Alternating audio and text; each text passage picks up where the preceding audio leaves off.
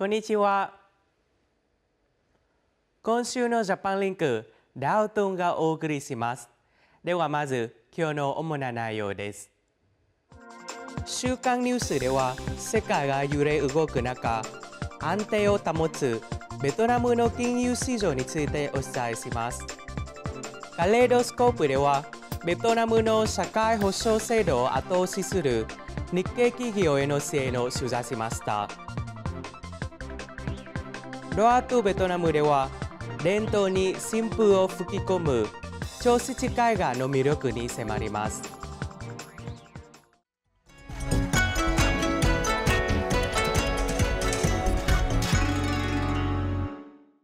国際的な信用格付け会社フィッチレーティングスはベトナム経済の見通しを BB でポジティブと格付けしました。また同社は2022年のベトナムの経済成長率が7.4%に達すると予測しています。フィッチレーティングスはベトナムの経済について中期的に成長が見込まれる上低水準に抑えられた公式債務が財政状態を安定させているとしていますまた工業建設サービス業などの好調ぶりによるベトナム経済の成長を高く評価しました。生産業を中心とした外国直接投資の増加や為替レートの柔軟性が貿易を支えていることも高評価の要因とみられます。ドル高世界的なインフレそして金融市場の混乱が都市間にも影響を与えています。こうした中ベトナムは海外の影響に左右されず国内の金融市場の安定維持に取り組んでいます。証券特に社債に関する不祥事はここ最近投資家に大きな影響を与えていました。こうした中ベトナム政府は政令65号を発令しました。社債に関する透明性の向上や投資家のリスク軽減投資のさらなる誘致などを通じて市場の構築を目指します。Theo tôi đánh giá là cái việc minh bạch thông tin là cái ưu tiên được nhấn mạnh rất nhiều trong cái nghị định này và đó là điều cần thiết và chúng ta tôi tin rằng là với những cái cái quy định mới thì chúng ta sẽ có một cái chặng đường phát triển tiếp theo của thị trường trái phiếu nó bền vững hơn và nó nó nó tránh được những rủi ro hệ thống hơn. アメリカの連邦準備制度による 金利上昇に対してベトナム国家銀行はここ1ヶ月間政策金利を2%引き上げましたそれに伴うベトナムのインフレ抑制は海外メディアや格付け機関に高く評価されましたイギリスの金融情報サービス企業 IHS マークイートはベトナムの信用成長率が14%台を維持すると予測しました。ここ数年、ベトナム経済が急速に成長しています。特に国家銀行は銀行業界におけるリスクの軽減に取り組んでいます。バーゼル3規制の基準を満たすことで銀行から高額の借り入れが可能になります。またリスクを察知した場合は不動産部門への融資を中止するなど積極的にリスクを軽減しています。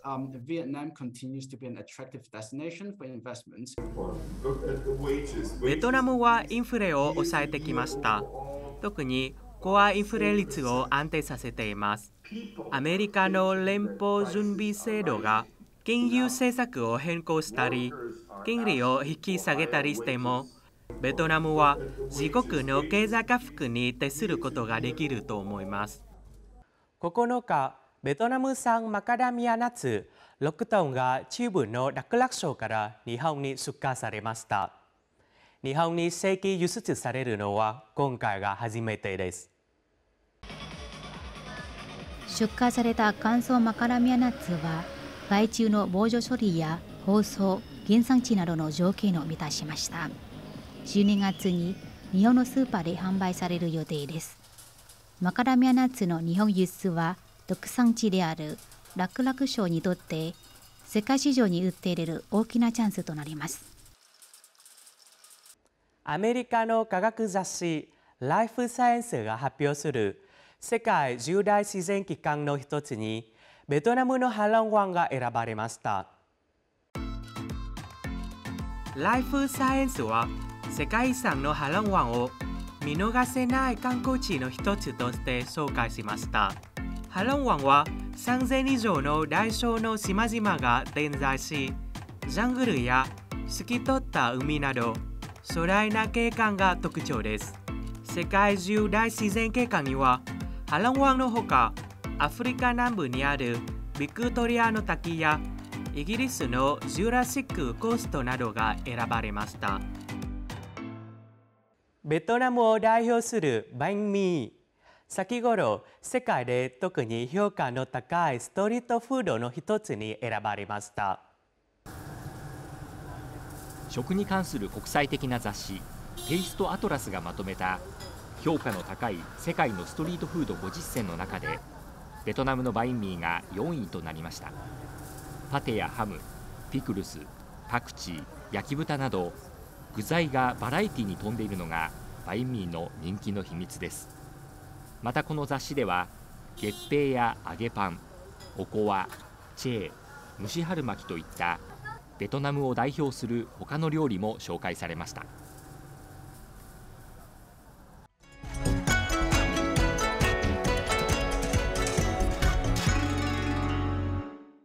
日本はこれまでベトナムに対し5000件近くのプロジェクトにおよそ660億ドルを投資しベトナムに投資する国と地域の中で3位となっています。中でもベトナムでの雇用創出をはじめ労働者向けの社会保障制度の実施に大きく貢献してきたとベトナム社会保険庁が評価しています。今週のカレードスコープは社会保障制度におけるベトナムと日本の協力に焦点を当てます。トゥイさんはこの日系企業に16年勤めています。企業の社会保険に加入したことでさまざまな恩恵を受けました。また新型コロナの発生時には会社に手続きをしたことで国からの補助も受けられました。Chính sách chế độ của bảo hiểm được đóng đầy đủ và rõ ràng đặc biệt là trong năm 2019 2020 à cả 2021 nữa thì là cái Covid-19 thì là có một thời gian chúng tôi phải nghỉ cách ly thì tôi cũng được công ty hỗ trợ trả lương cũng như là đóng bảo hiểm 100%. 保険内容の改善や手続きのデジタル化が進めば保険制度をよりうまく実施できると企業の代表は考えています。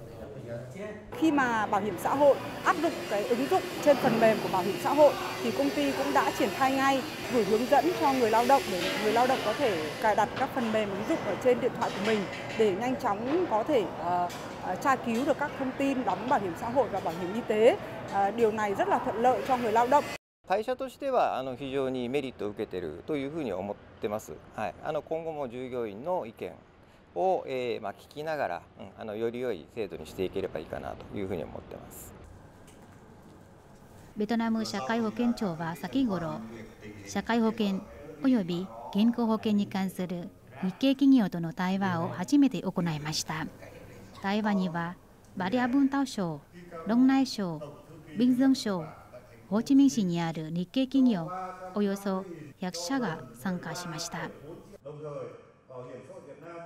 メリットは、まあ、基本的にはベトナムの、まあ、人たちが、まあ、何か事故とか問題があった時に、まあ、それを、えー、とサポートしてくれるっていう形で、まあ、非常に大事な制度かなと思ってます。まあ、これからもしっかりとあの社会保障の制度ベトナムも充実していただいて、まあ、我々日本人も、まあ、たくさん働いてますんで安心していける、まあ、制度にしていっていただけたらいいかなというふうに思います。意見 của các doanh nghiệp Nhật Bản để chúng tôi tiếp tục vừa là đề xuất hoàn thiện chính sách đồng thời là trên cơ sở những cái khó khăn vướng mắc mà các doanh nghiệp FDI Nhật Bản gặp phải trong cái thời gian qua trong việc triển khai thực hiện các quy định về bảo hiểm xã hội, bảo hiểm y tế để chúng tôi sẽ tiếp tục hoàn thiện để nâng cao hơn nữa hiệu lực hiệu quả của quá trình thực hiện chính sách. 今年9月までで ベトナムに拠点の多く日系企業およそ2100社が52万5000人の従業員を社会保険に加入させています。日系企業による社会保険料の支払額は外資系企業全体の12.9%を占めています。社会保障におけるベトナムと日本の協力について、在ベトナム日本国大使館の渡辺茂次席講師にお話を伺いました。今日お時間を割いていただきありがとうございます。ありがとうございます。ベトナムと日本はここ50年、さまざまな分野で大きな成果を収めてきました。社会保障に関する両国の協力についてどのように考えますか？日本とベトナムの外交関係が樹立してから来年でですね50周年という50年が経ちます。でその間に両国間では、まあ、経済をはじめとしたですね多くの分野この社会保障の分野においてもだと思ってますけれども協力が発展してきております。でベトナムに進出する日本企業の数というものもね前年増加してきておりますし労働者の権利と利益を確保する上でベトナム国内の社会保障制度を活用することは非常に重要になっていると考えています。その10月11日に開催された対話会ですね。そこにおいてはその参加した日本企業からですね社会保険料の二重払いに関する意見を出されております。この二重払いの問題等を解消するためには日越両国であの社会保険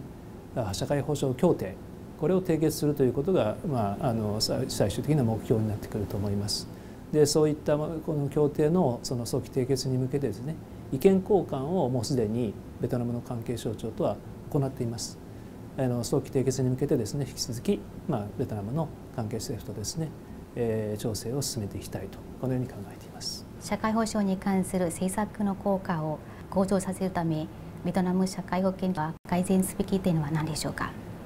先ほど申し上げたあの対話会ですね。ここではその日本企業の関係者からあの例えば二重払いの問題やあの社会保険の関係ではですねその他、えー、保険加入手続き納付手続きの簡素化とか、えー、日本帰国後における年金等の海外送金、まあ、まあ、海外送金というか日本に対する送金、えー、という意見やお願いしたいという意見やその医療保険の関係で言いますと社会、えー、外国人労働者のための保険適用医療機関これを充実させてほしいと。いうような意見が出されました。でベトナムの社会保険庁の皆様からですねこれらの問題に対しては国内規定の改正や制度適用の改善によって、まあ、順次対応していくというような回答がありました。まあ、引き続きですね日本企業の関係者の声をですねよく聞いていただいてそれを社会保険の制度の改善ということでですねにつなげていっていただきたいというふうに考えています。今日はありがとうございました。ありがとうございました。続いてはロアとベトナムとジャパンナウのコーナーです。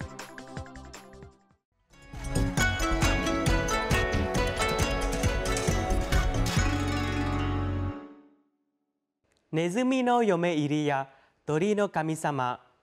ベトナムでは馴染み深いこうした版画を超質絵画という新たな技で表現し伝統に新風を吹き込む作家がいます今週のロアートベトナムはユニークで斬新な超質絵画を鑑賞しましょう。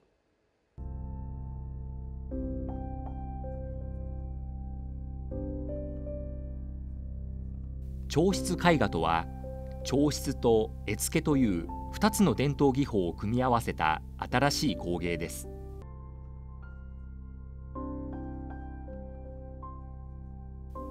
こうした伝統技法のイノベーションに情熱を注ぐ作家が集まりラトワ・インドシナというプロジェクトを設立。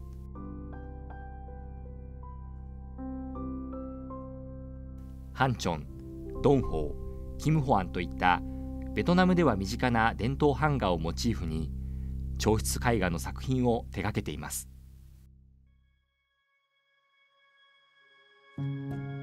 Sau khi là làm sơn mài một thời gian và tôi tìm được cái chất liệu sơn khắc à, để thể hiện nét. Sau đấy thì mình sẽ tạo những cái lớp chất từ sơn mài thì mình lấy nét của sơn khắc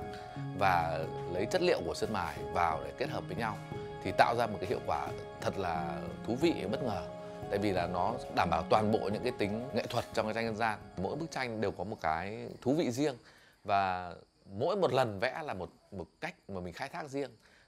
ngay cả bức ví dụ mình vẽ bức này xong bức khác mình lại làm màu khác. 磨かれた漆の板に線が彫られます絵柄は元の題材と大きな違いはありませんが素材や色使いが異なります。作家は独自の技と心を作品に込め命を宿します。題材となる絵を選んだ後版画から漆の板に絵柄を写していきます。Đầu tiên là mình sẽ in một bản đen trắng. Sau đó mình sẽ bôi một cái bột màu, có thể màu trắng hoặc màu vàng. Sau mình đặt lên trên mặt vóc và mình lấy bút không có mực, mình tô lại để mà nó can lên cái mặt, in lên mặt mặt vóc. Cái công đoạn này nó cũng rất thú vị ở chỗ là bạn không cần phải ke nét theo bản vẽ thực đâu, mà có thể rung rung tay được. Rung rung tay rồi khi mà dao vào cái dao khắc đấy tự nó nắn lại được lại. Thì chính vì những cái mà cái cái nét tay như thế, nó lại cảm thấy sự uyển chuyển thủ công hơn.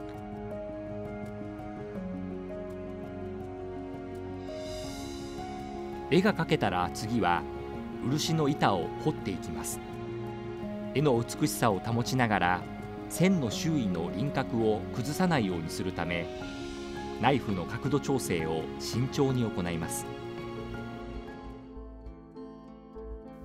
彫刻が終わったらまず茶色の塗料を塗りその上に他の色を塗り重ねていきます。Quan trọng nhất là mình lựa chọn cái cái màu vẽ trên cái gì? Ví dụ như là vẽ trên bạc thì mình nên vẽ mỏng. À, mình vẽ mỏng để mình lấy được cái chất bạc bên dưới. Cái lớp đầu tiên mình vẽ dày mình vẽ dày và để lại nhát bút. Thì chính cái nhát bút đấy về sau nó tạo lên cái chất liệu cho cái sau này những cái lớp màu sau này. Nên khi mà vẽ thì mình biết là, là mình vẽ lớp nào ở mức độ bao nhiêu để mình xử lý cái nhát bút đến đấy.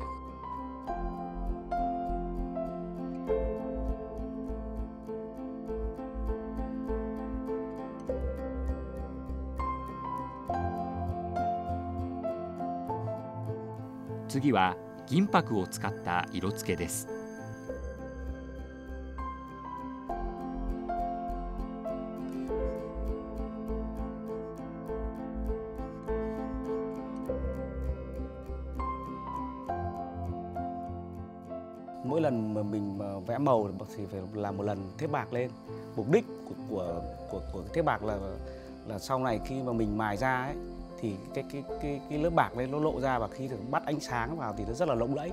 Trước hết là mình phải bôi bề mặt cánh rám lên cái chỗ mà mình cần rám và và mình sẽ thép từng lá bạc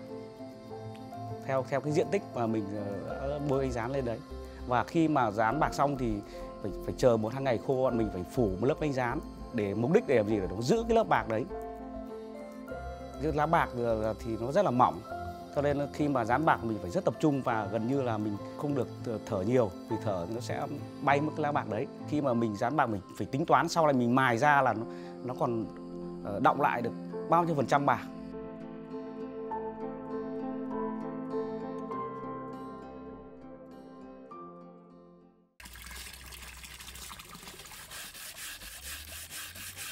そして仕上げの工程が磨く作業です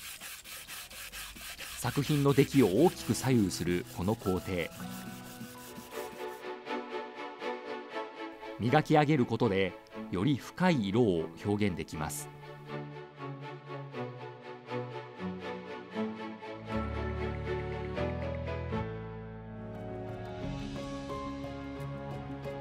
一つの作品を完成させるのにおよそ2ヶ月かかります。作家の創造性と熱意により彫漆絵画は鋭く深みのある緻密な世界を表します。このほどハノイ博物館で開催中の展覧会にも彫漆絵画が展示されています。伝統から現代へ。感動と驚きに満ちた旅へ。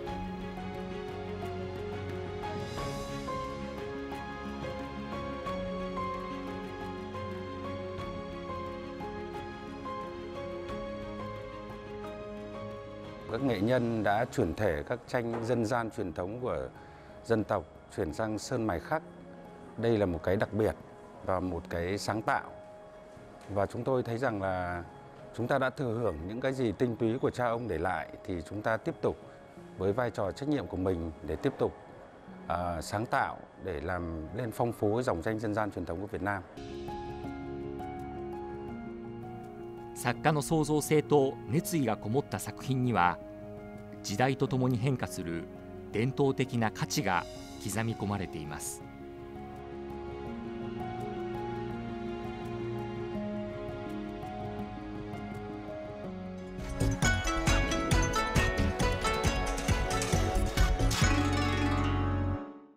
日本で古くから伝わる組子は釘を使わずに木片の組み立てて模様を作る技術です。福岡県大川市では現在でも多くの組子職人が活動し発展を続けています。そうした組子職人たちの活躍をジャパンナウで紹介します。日本伝統の木工技術組子。細い木片を釘を使わず組み立てて作ります。世界で最も古い木造建築法隆寺の欄干には組子が使われています。昔から建物の装飾に使われてきた組子。木のぬくもりが感じられ環境にも優しいため生活の中で親しまれてきました。最近では人気の観光列車にも組子が採用され観光客の目を楽しませています。200種類以上の模様が受け継がれている組子。まっすぐな木片の組み合わせだけで作る繊細な幾何学模様が魅力です。どの模様も長い歴史の中で人々によって形作られてきました。福岡県大川市。木工業で発展してきた町です。ヒノキや杉の木建物の材料となる木材が日々生産されています。木材が豊富なこの町では多くの組子職人が活動しています。四季ひろみさん。組子職人の家庭に生まれ7代目になります。幼い頃から組子作りに没頭してきました。組子の作成はすべて手作業で行います。この緻密な技術を身につけるには長い時間がかかります。教わったことは全くありません。言葉もありません。人もいませんけど物が教えてくれた。仕事が仕事を教えてくれたというふうに思っております。四季さんある時一人で技術を磨くのに行き詰まったことがあると言います。彼女にさらなる成長のきっかけを与えたのは先祖が残した130年前の組子でした。やはり130年を経ってると木の粘りとかそういう性質が外れてますので壊れるんですよ。それをまた修理するっていうことは新しく作るよりも3倍の労力と時間がかかるんですよ。それが私の勉強になりました。その学びを生かして四季さんは自分の感性で異なる木材を組み合わせて新たなデザインを生み出しています。建築の装飾品だった組子は時代の変化とともに使い方も変わってきました。木下正人さん。現代の暮らしの中で楽しめる組子を作り出しています。こちらは組子で作られたランプ。模様が周囲に投影され美しい空間を生み出します。